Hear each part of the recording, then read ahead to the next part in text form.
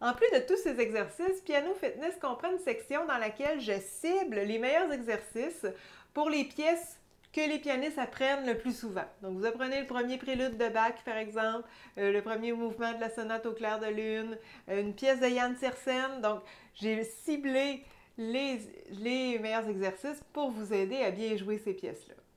L'exercice d'aujourd'hui, c'en est un pour le passage du pouce. En position de dos, on va enfoncer le 2 et le 4 de chaque main. Et ensuite, avec notre pouce, sans lâcher le 2 et le 4, je vais jouer le Do, le Mi, le Sol, Mi, Do. Toujours avec le pouce et sans lâcher le 2 et le 4.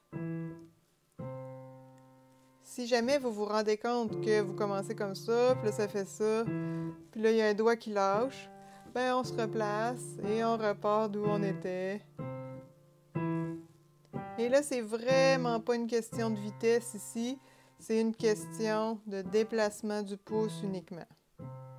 On peut aller lentement pour faire ça.